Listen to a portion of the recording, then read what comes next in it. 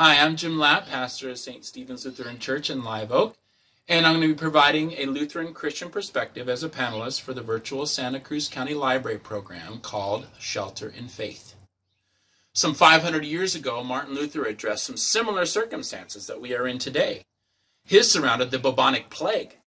While people were fleeing cities and leaving the sick behind, Martin Luther stayed and expressed a way of behaving that sounds very similar to what is being asked of us now especially from our healthcare workers, migrant farm workers, and other essential workers.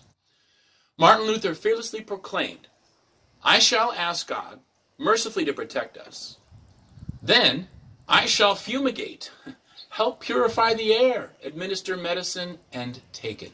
I shall avoid places and persons where my presence is not needed, in order not to become contaminated and thus perchance inflict and pollute others, and so cause their death as a result of my negligence.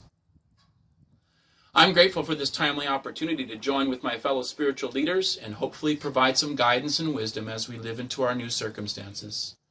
I hope you will join us on Monday, May 4th at 10 a.m. for part one of the Shelter in Faith series, Crisis and Recovery. Just visit the Santa Cruz Public Library website and sign up with your name and email.